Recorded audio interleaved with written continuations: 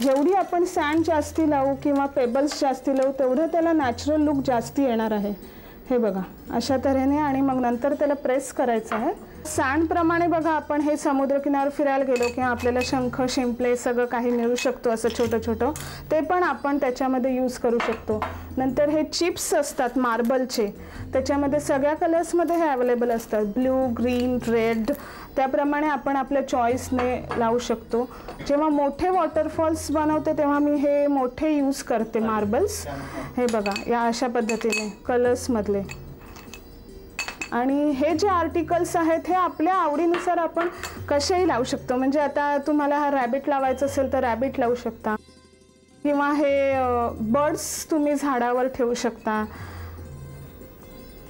किंवा हे असे डॉग्स किंवा हॅपी माणसं आजकाल फेंगशुईचं खूप मार्केटमध्ये प्रस्त झालेलं आहे की पाणी वाहतं घरात ठेवायचं वगैरे असं.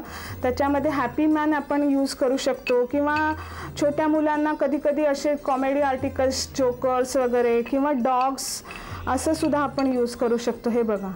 प्लांट्स किंवा असे यू झाडं अशी मार्केटमध्ये मिळतात आर्टिफिशियल ती अगदी नॅचरल लुक्समध्येच असतात ही बघा. अशीच रेडीमेड अवेलेबल असतात. तर ती आपण ह्याच्यात वापरू शकतो.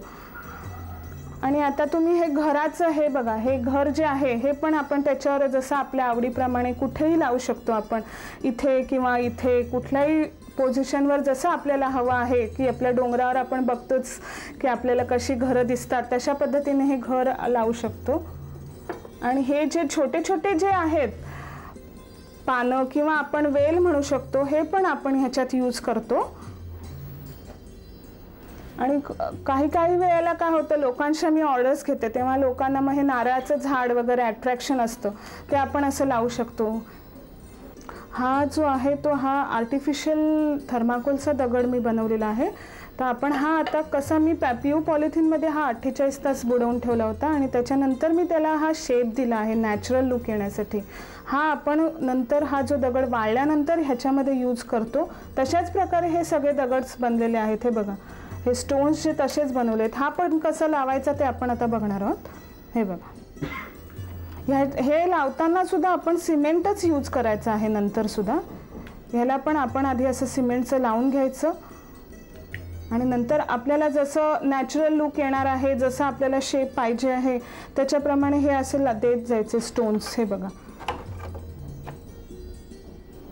आधी आपण हे स्टोन बसवून बनवून घेतल्याचा फायदा असा आहे की आपल्याला नंतर स्ट्रक्चर जे बनवतो आपण ॲक्च्युली तेव्हा ते पटापट बनतं. त्याच्यासाठी हे आपण यूज करणार आहोत. हे बघा.